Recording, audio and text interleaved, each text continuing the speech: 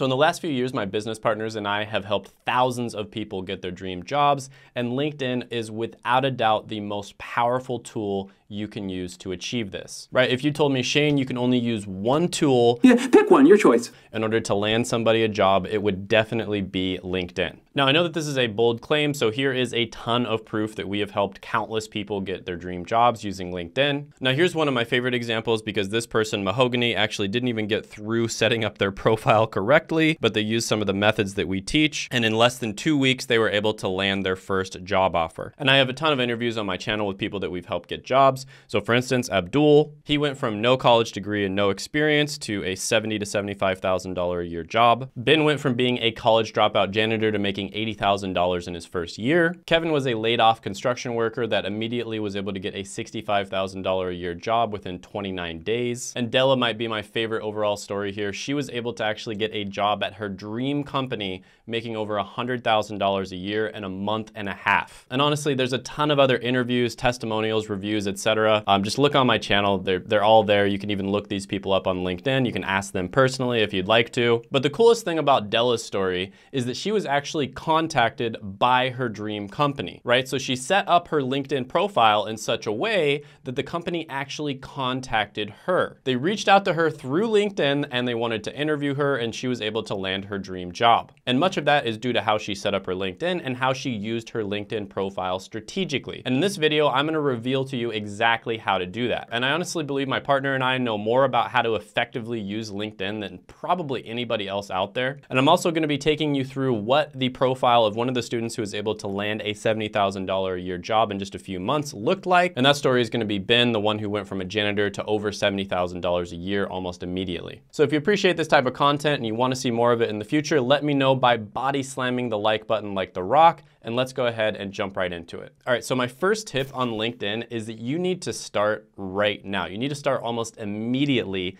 you know, if you don't have a LinkedIn, seriously, start one up right now and start adding people. And the reason for this is because you want to get to 500 plus connections as fast as possible. So on LinkedIn, once you get to over 500 connections, it just shows 500 plus. It doesn't matter whether you have 20,000 connections or 501 connections, it's just gonna show 500 plus. And this is basically like a weird way of showing that you have a lot of connections and you have like a lot of friends on LinkedIn. And it's one of those weird things that people judge you for. It's kind of like a blue check mark on Twitter or Instagram, except, you know, maybe not as impressive. And then the second reason you wanna get to 500 plus connections is because you actually can't view many people's profiles until you have a certain amount of connections. And then you also can't contact people until you have connections as well. A lot of people will set their profile up in a certain way to where you have to know somebody who knows somebody in order to be able to even view them or contact them. So depending on how they set their profile up, you may need to know them through second or third degree connections. And on top of it, it'll make it much easier for recruiters and hiring managers to find you as well. So I have three suggestions to really speed this up. The first thing is when you're starting your LinkedIn profile, you'll be prompted to import people over from, you know, Gmail or your other email lists, etc. So I definitely recommend that you do that because that's gonna give you some initial connections right off the bat. My second suggestion is to use what is known as LinkedIn Open Networkers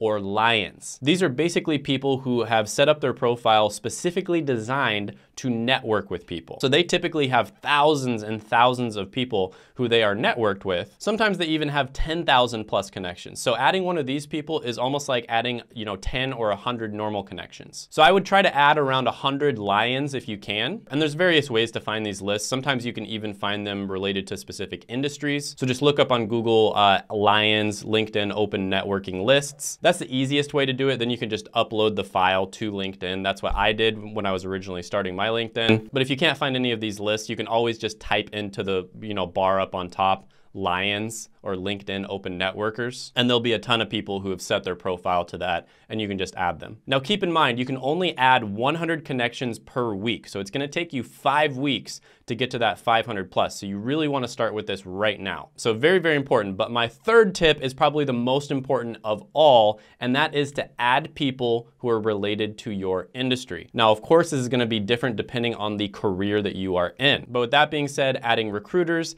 adding hiring managers, adding VPs, executives, directors, etc. Those are the types of people who tend to have a lot of connections. And not only do they have a lot of connections, but they are connected to people within your industry. So this is gonna make it much more likely that you're gonna be able to connect with them and get through to them if you want to try to find a job. And then of course, if there's a specific city you're trying to get a job in, make sure to connect with people who are in that area. Now, my second tip here is determining demand. So this is actually one of the best features of LinkedIn is not only can you determine the demand for a specific career, but on top of that, you can actually determine the demand at the entry level, right? So there's a ton of careers out there that have a lot of demand, right? So if you look them up on BLS, for instance, you'll see, oh, there's so much demand. But then you actually get into the career and you realize at the entry level, it's actually really difficult to get a job. But using LinkedIn, you can determine if it's one of those careers where it's easy to break into, right? Because there's a lot of careers out there that once you've broken in, once you've gotten the skills and the experience, it's easy to get a job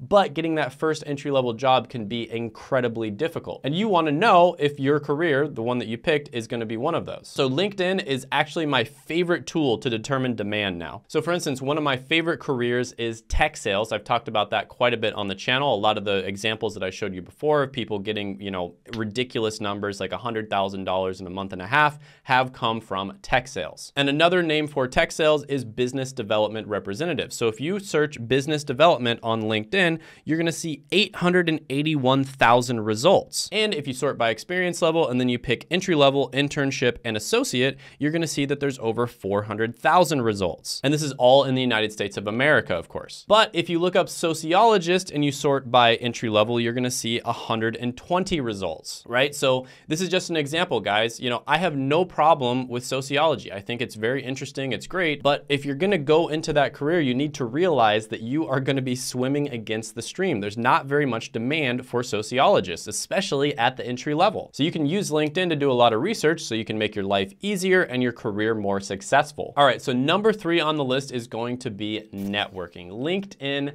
is the most insanely powerful tool when it comes to networking. So let me give you an example of this. You go to LinkedIn and you click on people. Then you go to all filters. Then you go to current company and you select Google, right? Because you want to work at Google. Then you scroll down to the school and you pick the university that you went to. So in my case, I went to the University of Kansas. Then you click show results and you see 171 people who also went to the University of Kansas who now work at Google. Now, if you know anything about people who went to the University of Kansas, they're very passionate about their school school. They have one of the best basketball programs of all time. In fact, I'll just say it, the best basketball program of all time. So if I reach out to these people, I'd probably have a 10 times better success rate at actually networking with them because we have something in common. Now you can do this with more than just college. You could do it with the high school that you went to. You could do it with some club that you joined, some organization that you're a part of, etc. And people are much more likely to help you if you have something in common with them. And if you're able to have like an inside connection, somebody who just got a job at Google, they can probably tell you exactly what you need to do in order to get a job at Google as well. They may even be able to put in the good word for you and help you get a job directly. So honestly, this is just one example, but if you just get a little creative with it, you can see how unbelievably powerful LinkedIn is when it comes to networking. I use it for business networking now, right? Like I'm not trying to get jobs anymore. You know, I own my own business now, but I use it for business networking quite a bit and it is unbelievably powerful. A friend of mine owns a website and he uses it to get backlinks to his website. If, so if you're familiar with SEO, you know how powerful backlinks are. So there's literally unlimited uses when it comes to the networking that you can do with LinkedIn. It is so, so unbelievably powerful. And networking, by the way, it's one of those things where you don't need it. You don't have to network, but if you do network, it's basically like a cheat code, right? So I highly, highly recommend networking as fast and as soon as possible. Even if you're introverted, I'm introverted, I get it. You know, it's hard to network, but I highly recommend doing this as fast as possible. The fourth thing that I wanna point out about LinkedIn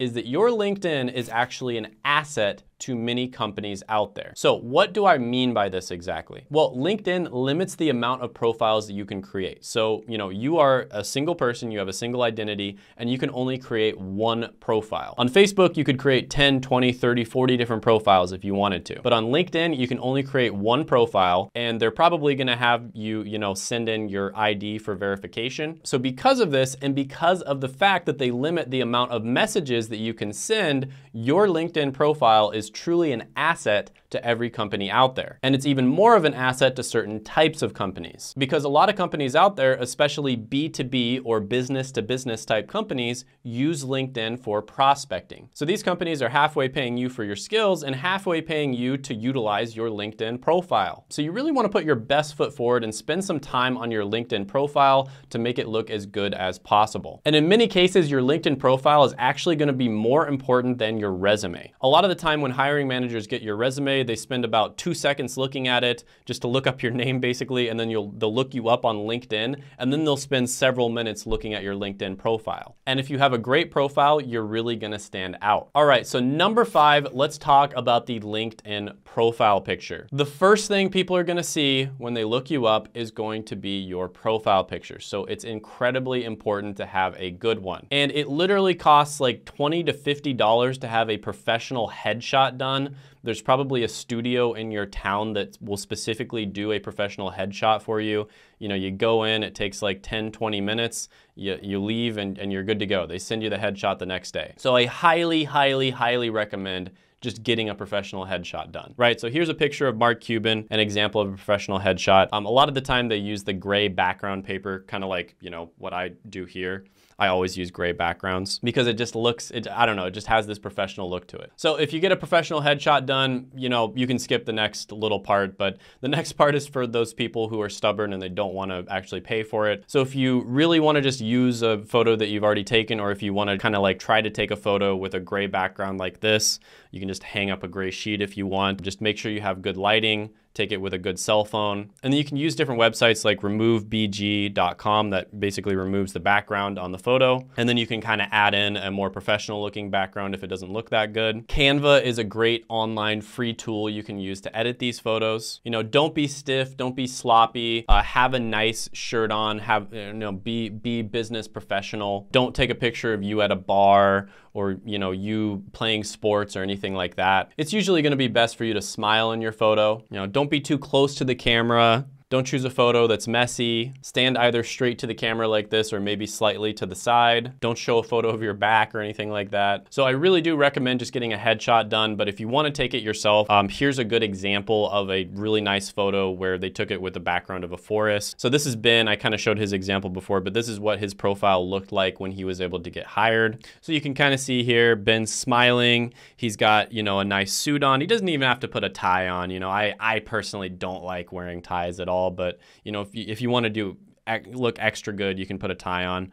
But you can see here he's wearing a really nice shirt, a suit. He's smiling. His hair is really well kempt. Looks like he kind of touched up and shaved a little bit. And yeah, overall, pretty nice photo. It gets the job done. The next thing after the photo, number six, we're gonna talk about is the title and headline. And to be honest with you, there's a lot to talk about here, and it really depends on the career path you're going down, the industry you're going into, etc. But with that being said, you really want to tell a story with your title or headline. You basically want to tell them exactly what you're looking for. So for instance, if you are trying to get a job as a business development representative, sales development representative, like I talked about before in tech sales, you would do something like this, sales development intern seeking opportunities, just like Ben did. Now you want to be careful here to not come across as too needy. So needy. And this is where it kind of depends on the career path you're going down, the industry you're in, etc. When it comes to sales development representative, there's such an insane amount of demand for SDRs, BDRs, and just tech sales uh, specialists in general that it's okay to come across as a little bit needy because there's just so much demand for them that it doesn't matter, right? So when you do something like, hey, sales development intern seeking opportunities, it's actually okay. There are so many companies out there that are looking for this skill set that it doesn't actually matter. However, if you're trying to get into an industry where there's a lot more competition, it might be better to say something like sales development intern open to opportunities, or just insert whatever industry you're trying to get into open to opportunities. So that comes across as a lot less needy. Now, one thing you also want to notice about this headline is it says sales development intern. So that shows that he actually has some experience in sales development. So that's a little bit of a value add right there. So basically what he's communicating here is he has some experience in sales development and he's looking for a full-time position. So depending on what your goal is, you're going to tailor this to the industry or the business you're trying to get into. Keep this simple, communicate what you want, but at the same time, don't be too needy. Next, Number seven, we're gonna be talking about the about section. So use the about section to describe who you are, what you're looking for, and why. So a big mistake that people make, and I guess I should have said this with the headline, but a big mistake that people make is they basically say like, oh, I'm open to anything, I'm good at all these different things. No, you want to tailor your profile specifically for a very specific position that you're trying to get into, right? So if you're trying to get into tech sales, become a sales development representative, you need to tailor your profile to that specific position. And so what you wanna do is become familiar with the lingo that that industry uses. So here's Ben's profile again, and we're gonna talk about some of this stuff. So B2B sales, right? He doesn't say business to business sales there. He just says B2B because everybody in that industry knows exactly what B2B is. If you look a little bit further down, you see he uses terminology like spin and BANT. And if you are familiar with the sales industry, you're gonna know what those two things mean. You see he also uses the acronym of SDR, which is Sales Development Representative. And again, if you're familiar with that industry, you're gonna know what that means. And then see that he also talks about some books that people have probably read if they're in the sales industry. How to Win Friends and Influence People, one of the greatest books ever written. I've read it, it's great. Spin Selling, I've also read that book. And then Fanatical Prospecting, I haven't read that one, but I'm sure people who are in the sales industry and they've done it for a while have read Fanatical Prospecting. So you really wanna try to tailor your background and explain your background in such a way where it's gonna show them how it's gonna be good for the position you're trying to get into. And then you wanna use industry specific lingo and also just demonstrate that you're really excited to get into that position. You're someone who's really passionate about it, you're excited about it. That sort of thing is contagious. If you're really excited about something, other people are gonna be excited about it as well. Number eight, let's talk about experience and education. So obviously with your education, education, you know, put that stuff here, that's great. If you have it, you have it. If you don't have it, don't worry about it. The world is changing and, you know, getting a college degree is no longer necessary for many positions out there. And you can sort of spin this in a way that makes it seem a lot better than it actually is. Let's say you worked at McDonald's, for instance. You know, did you work at McDonald's or did you improve the financial transactions at a Fortune 500 company by 7.1% while maintaining a 4.9 out of five star satisfaction rating, right? So that's kind of a, an excessive example, but I think you get my idea here. You can make positions sound a lot better than they are. And you also want to try to be as specific as possible at exactly what you accomplish. So you want this to tell a story, right? Notice there that I said exactly what you're doing, but I also talked about a metric. And people that are hiring managers and just managers in general are going to be really honestly impressed by you if you're somebody who actually tracks metrics. Because typically, the only people who track metrics are the managers themselves. So if you're somebody who took the initiative to track metrics on your own and pay attention to that stuff,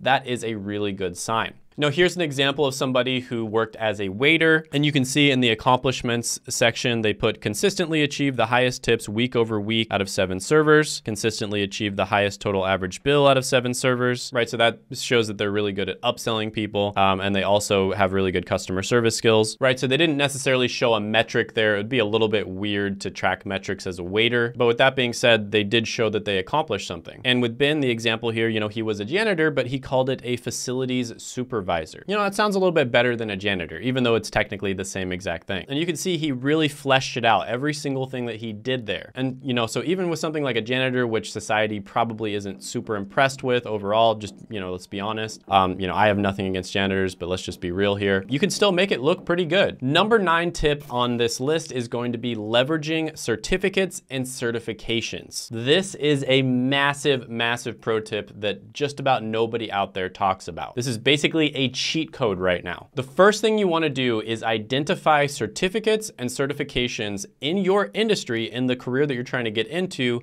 that hiring managers and recruiters actually care about, right? So you're not trying to identify the certificate or the certifications that's the best one, right? That's not what we're trying to do. We are trying to identify the one that the hiring managers and the recruiters actually respect and care about. Those two things are not necessarily the same, unfortunately. Then you want to add in that certificate or certification on your LinkedIn profile. And you can add it in the education section oftentimes. You can also add it in the experience section. And then the third thing you can do is you can also make a post about it as well. And what this is gonna do is it's gonna allow you to be discovered by companies who are searching people through that certification, right? So a lot of the time recruiters and hiring managers will actually search for people by the cert that they're taking or the cert that they've already taken. And the coolest thing is even if you aren't done with the certificate or certification, you can still put it in these sections, right? So you just have to put that you're in the process of taking it. So you can see that Ben here put course careers and sales development specialization in the education section. And this is actually one of the ways that Della was able to be discovered. So she also put that she was going through course careers in the education section. And this company that was her dream company was actually partnered with course careers and they really like the people that come out of course careers because course careers does a really great job training them. And this was her dream company. They reached out to her, wanted to interview her,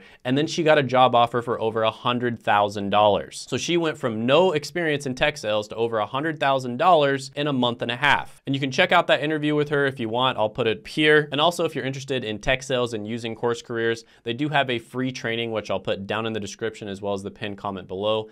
Definitely check that out if you want to get into tech sales. And if you're interested in actually getting trained by them and then using their service where they actually get you guaranteed interviews with their partners, then you can also use my code down in the description, which is Shane50. And that'll give you $50 off. So the total price is $450, I believe. So the number 10 tip is a very basic one, and that is don't be controversial. This is a pretty obvious one, but you know, don't put anything inflammatory or controversial on your profile. I think there's an acronym out there for things you're not supposed to talk about with people that you don't know very well. I think it's like politics, religion, uh, how much money you make, these sorts of things. Like don't talk about these things on social media. Okay, it's just, it's, I'm sorry, but this is just a really obvious tip that for some reason some people don't do, right? Your job is not a place to spread your political beliefs, right? That's not the purpose of your job. The purpose of your job is to do work and provide value to society. So do not be that person who is soliciting other people